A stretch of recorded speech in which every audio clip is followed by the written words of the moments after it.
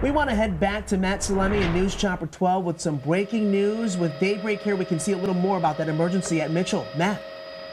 Yeah, we do have some new details. We're told this is a United Express jet that was scheduled to fly from Appleton to Chicago. It diverted here to Mitchell International with a passenger having a medical emergency.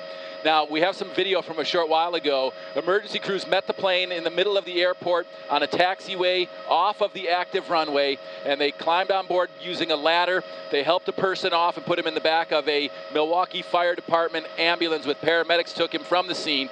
Shortly after that, they closed up the door and then taxied into uh, gate Charlie 10, and they are now sitting here. We saw them before they closed the hood that uh, extends the uh, the exit. Uh, they wheeled a wheelchair up to the doorway, so we're still waiting on exact confirmation on why they docked and didn't continue on to Chicago. Stay with WISN 12 News for the very latest. All right, Matt, thank you. And it's good to know that the man got up on his own onto that stretcher there. Thank you, Matt.